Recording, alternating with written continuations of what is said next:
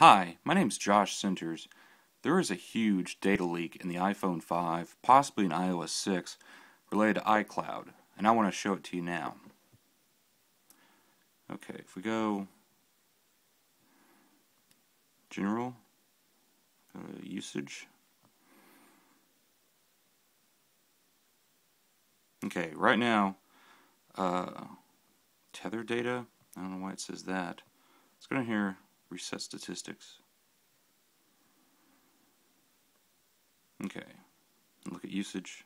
So you already used 1 and 2 kilobytes of data already. 3 and 4. It's using probably 1 kilobyte a second at this rate. Now, what happens, go under iCloud, I see all of iCloud is turned off.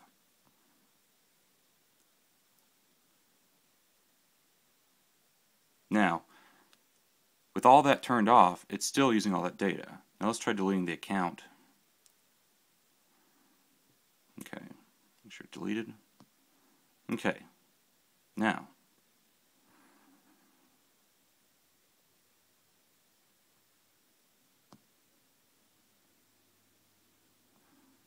Let's reset.